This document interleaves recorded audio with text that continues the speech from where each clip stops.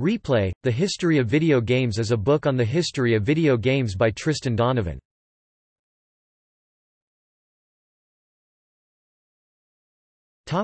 Publication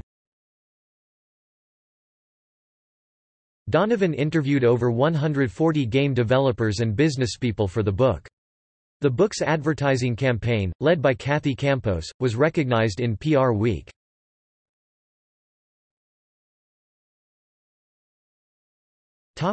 Reception Multiple journalists praised the book's treatment of European game history, which had been neglected in previous works, and criticized its organizational structure.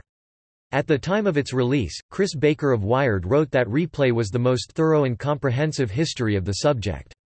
Colin Moriarty of IGN noted the book's generalist position in relation to other game histories, as of 2014. He added that Donovan's thoroughness made for an interesting story about the industry's humble origins. Moriarty appreciated Donovan's approach to the European computer-centric and pre-console history as a departure from the litany of publications on early American companies and Japan's entry into the American market.